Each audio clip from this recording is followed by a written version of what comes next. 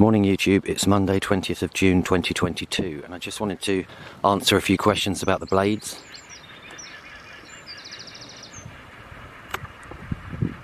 So that's the smaller set of blades that I made with the six blades on.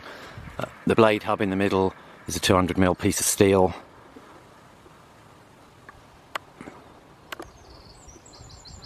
Which I drilled a 40mm hole through and then there you can see the 40mm collar which has a 25mm ID.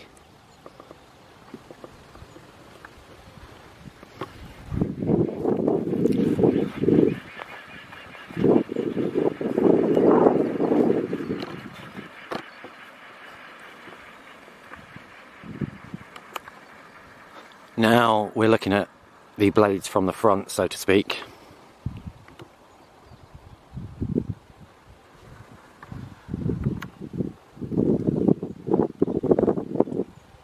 That's you can see them close up where they bolt through.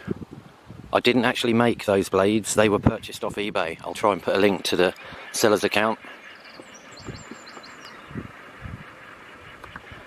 I had people asking me, did I make the blades? So in case you were talking about the front set, this is what they look like. They're 1.35 metres long and they were removed from the Chinese wind turbine with a blown motor.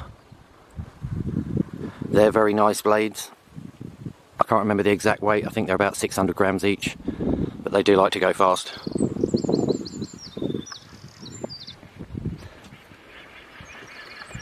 And that's a pretty good view of the homemade hub as seen from the front, and it turns clockwise. Some people seem to think the rear blades are turning in a different direction, but both sets of blades are fixed and turn clockwise.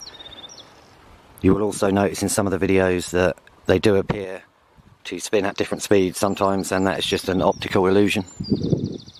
And there's a closer view as seen from the side. With regards to making the drive shaft longer, then the frame would likely have to be extended and the tail moved back a bit or made larger.